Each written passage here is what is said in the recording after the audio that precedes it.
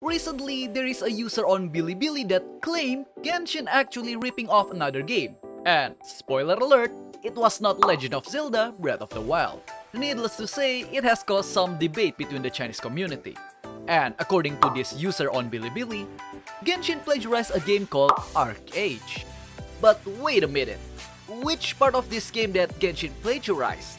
Well, apparently, there are two identical things that both of these games have.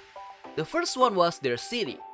One of the ArcheAge city was looked strikingly similar with Mondstadt, starting from the house design right up to the city overall design. What do you think? It's quite uncanny, isn't it?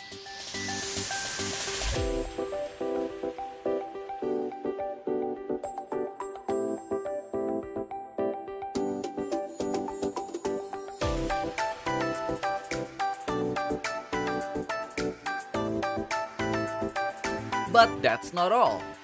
The other one is their dragon. ArcheAge also got its fair shares of dragon. But why do I think I have seen this dragon before? Oh right, it looks pretty close to Dvalin, our Anemo Archon dragon pet. From the ships down to the wings and the others. There's even this mid-air battle scene which also looked like our first battle encounter with Dvalin. So, is it true that Genshin plagiarized Mondstadt and Dvalin from ArcheAge?